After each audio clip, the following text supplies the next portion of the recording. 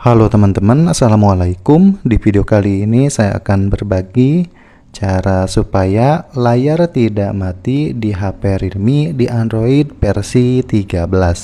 Oke, langsung saja ke tutorialnya. Pertama kita buka setelan atau pengaturan. Kemudian kita golir ke bawah ya. Di sini kita pilih saja tampilan. Oke, ini dia tampilan ya. Kemudian scroll lagi Nah, di sini kita pilih saja waktu tunggu layar.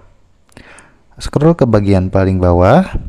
Nah, ini ada fokus ke layar, mencegah layar mati jika Anda sedang melihatnya.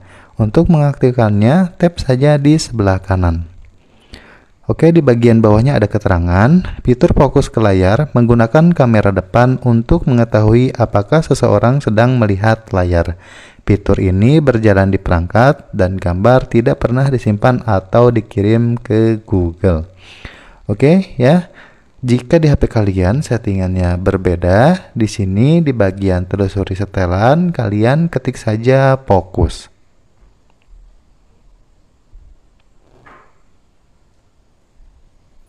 Oke, ini dia ya. Ada mode fokus, ada fokus ke layar. Kita akan pilih yang fokus ke layar geser ke bawah ya. Nah ini dia yang tadi fokus ke layar, kita tap di sebelah kanan untuk mengaktifkan. Oke ya teman-teman, itu dia tutorialnya. Mudah-mudahan video ini bermanfaat.